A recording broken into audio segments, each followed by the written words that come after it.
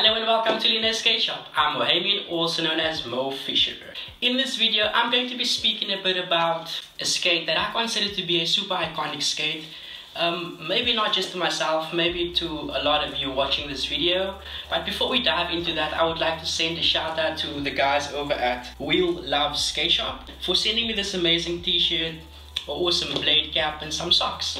So if you are in the area of the capital of Malaysia, make sure to pop into that store and show some love. So without further ado, let's jump into the small little review that, that I'm about to do for you. So I was actually searching on YouTube for any reviews about this and I came across one that was done by Ricardo Lino and a few other guys, but I haven't really seen a lot or a great amount of reviews where people actually break down the skate and speak a lot about it. So I'm gonna try my utmost best to tell you what I know and what I personally think about the skate. So this is the Roces M12, not to be confused or mistaken with the M12 Low.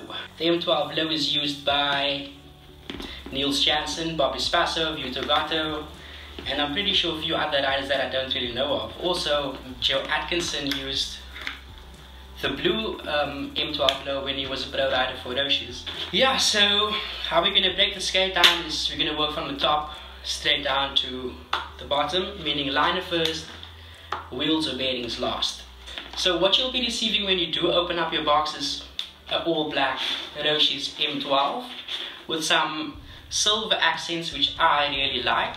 Um, the all black skate stealth mode is a personal favorite of mine. I like all black skate.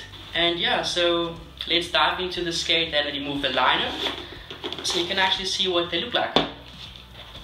So the liner is a very well padded liner. It's a nice stiff tongue, well padded on the heel.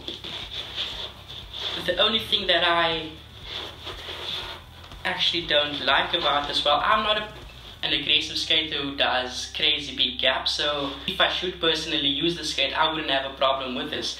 But I'm just throwing it out there that this skate doesn't come with a heel shock absorber.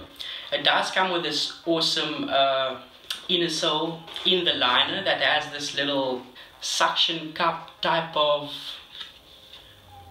octopus little thingy bobs on the bottom. I hope you can see that.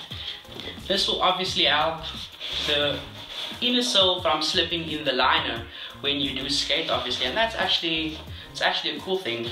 The liner doesn't have the Roces logo on the back like the lows would have and also it doesn't have the little step over in the front of here that actually keeps the tongue from popping out from out of the liner but I don't think that's a major no-go or it wouldn't cause any train smash.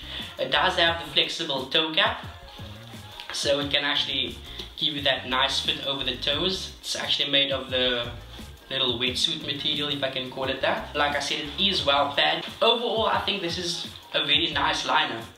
I haven't heard a lot of people complain about it, so who am I to complain about it or say anything negative about it? I don't see anything negative about it.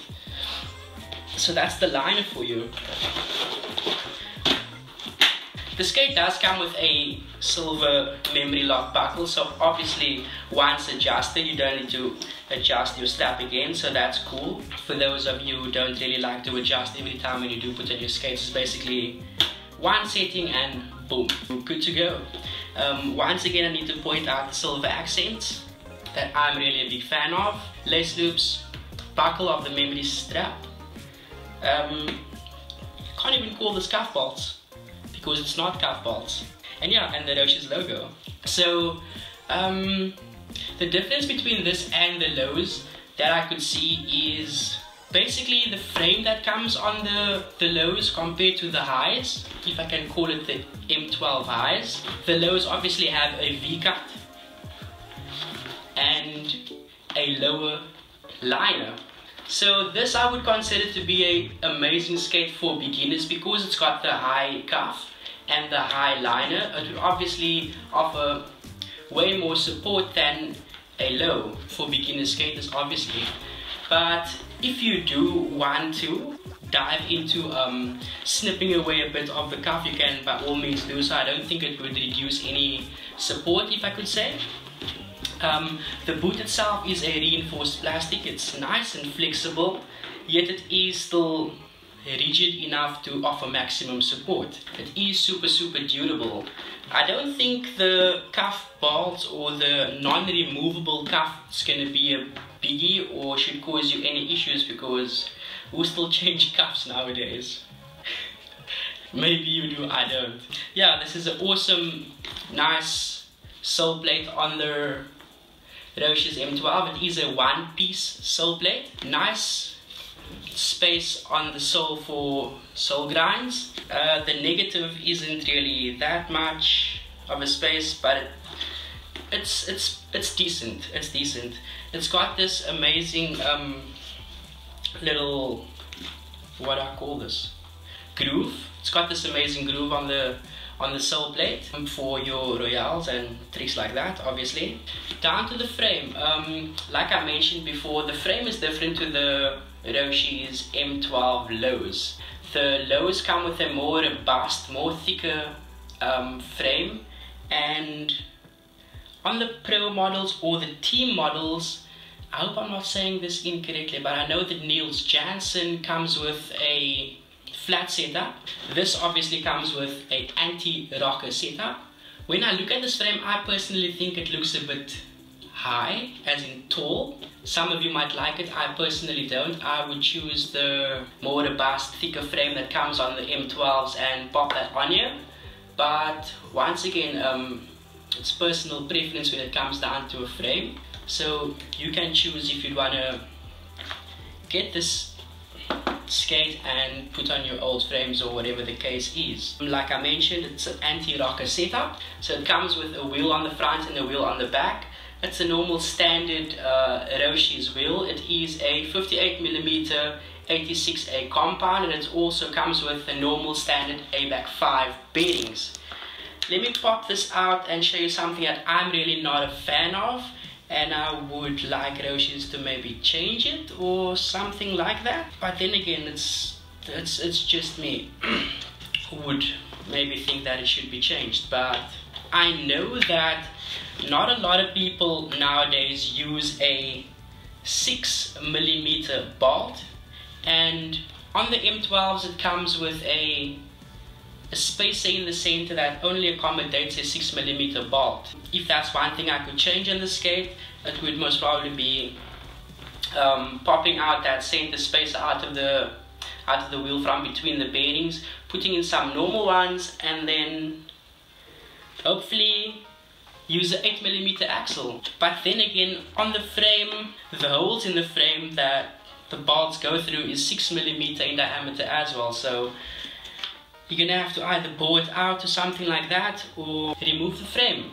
But then again, as a beginner or novice skater getting back into aggressive inline skating, I don't think this would be a major deal. I'm just being a bit finicky on the skates, but this is considered to be a super, super good aggressive inline skate for beginners, so it shouldn't be a problem with you guys but to change the frame or anything like that.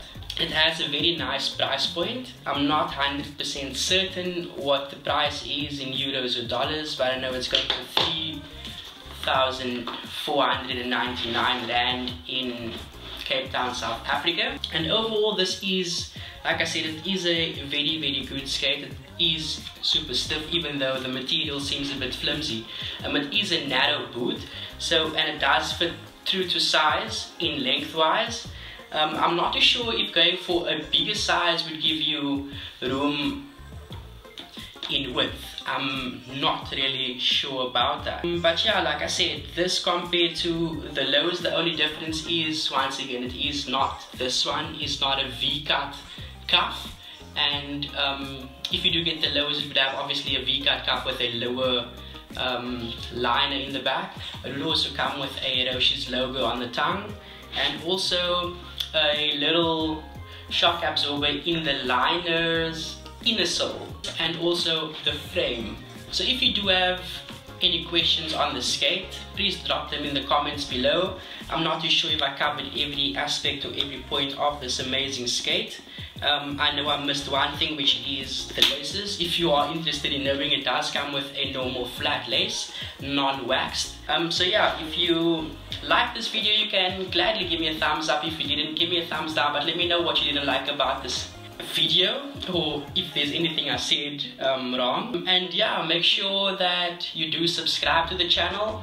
And also if you want to see a comparison to some other skate check out Ricardo Lino's channel. He normally has amazing content and he explains everything to the T. So if you want to see that you can head over to his channel and give that guy's content some views if you if you'd like uh, um, and yeah, and that's it for this amazing skate. Once again, thank you so much for watching and skate for the future, not for the now. Cheers, guys.